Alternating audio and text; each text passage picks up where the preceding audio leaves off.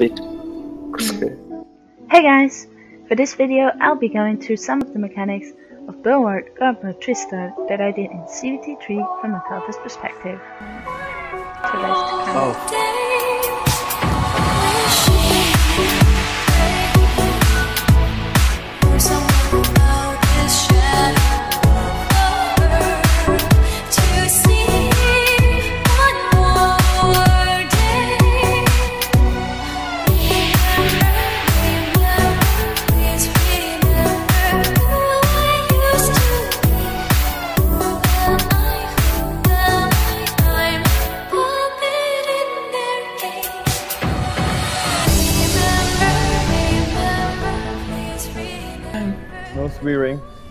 Did you fail? I tied like three To make sure we're fighting the first boss, we leave the raid one by one to have somebody win the rock paper scissors minigame. That's how broken that was. The whole raid applies to the person who won. Me, I'm on it. I won. So, Lenny, on to you.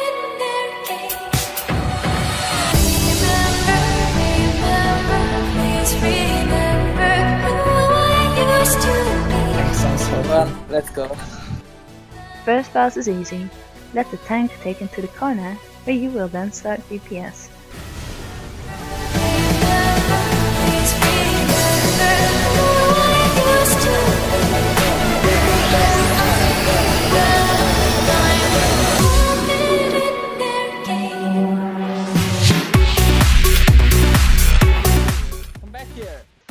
When he turns around, he will shoot a laser. Once you see the line turning up, dodge away from it as the laser is wider than expected.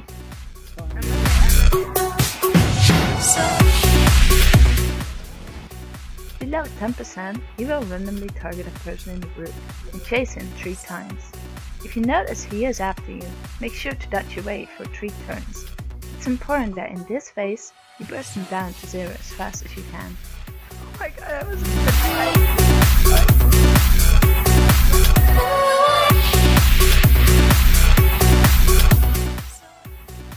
Twin bosses, it's best to have the occultist at the melee boss, because they deal magical damage which is strong against melees. However, an occultist can also help out with taking the purple orbs or dispelling the mage when you have people short for being able to do this.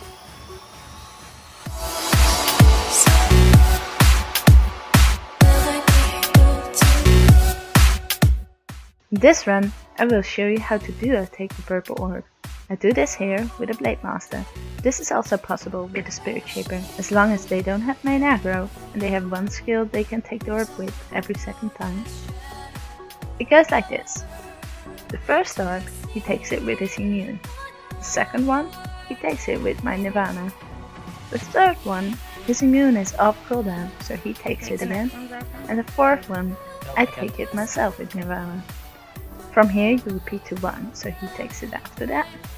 Cooldown wise, this is always possible, but this requires communication and a little bit of more focus.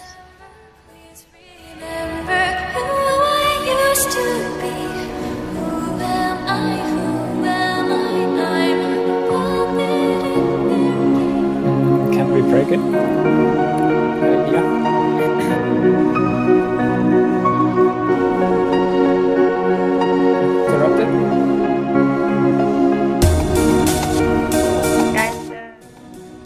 Of multiple events going on, always prioritize the following. First is the Mage Ghost, second is the Healing Totem, third is the Wolves. If multiple things are going on, keep this order to not make things even messier.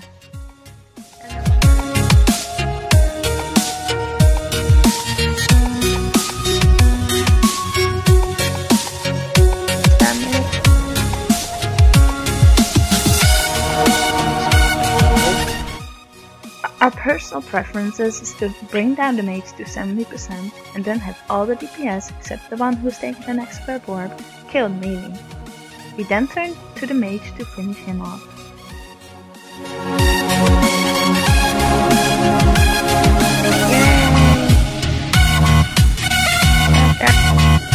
Yeah. The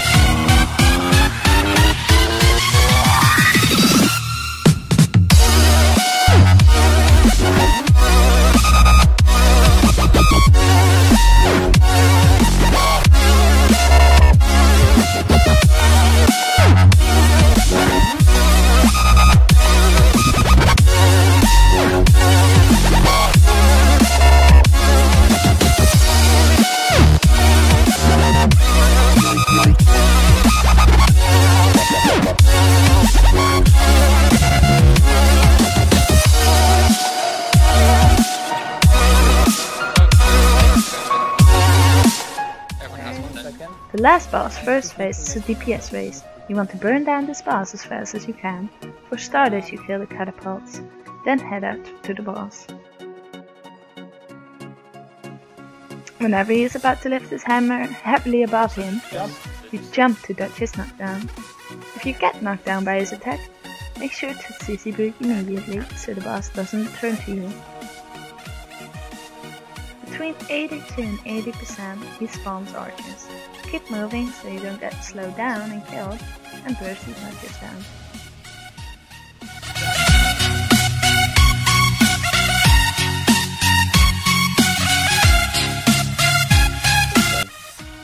At one point, lasers and sand square appears. Dodge these at all costs. The sand squares give the boss a counter and rage attack, and the lasers hit hard. Burst down one or two lasers, and advance on to the boss until he dies, ignoring the rest of the spawning mobs.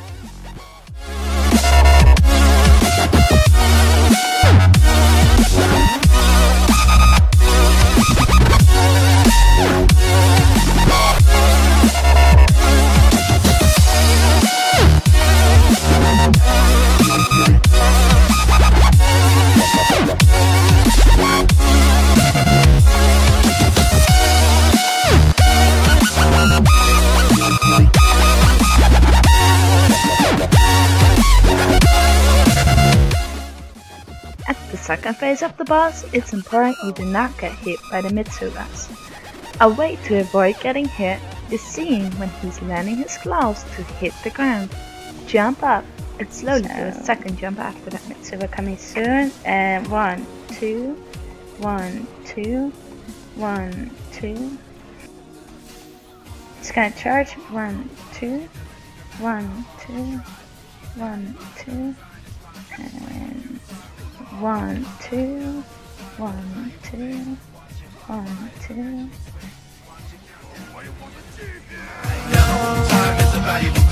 Watch it fly by as the pendulum swings. Watch it count down to the end of the day. The clock takes life away. So unreal. Just.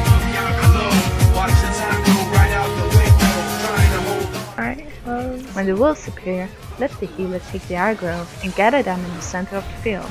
Once they jump there, AoE burst them down and continue going on the boss.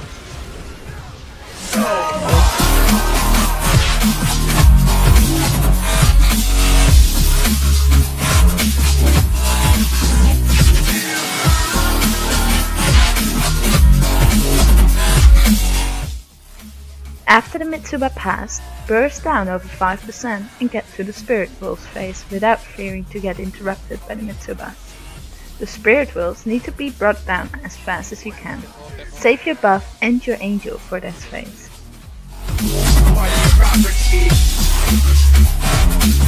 I'm the you got so.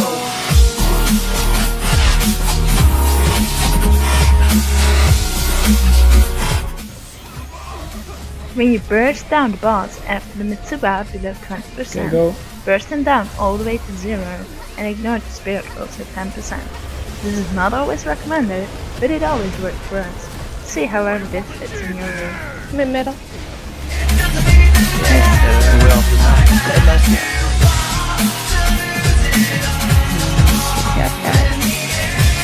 Oh, we didn't get this for ground defenses. Good luck on tackling down Grand Bulwark God mode and thanks for watching. If you liked the video or have any comments, drop me a line below and subscribe for more upcoming videos. Bye!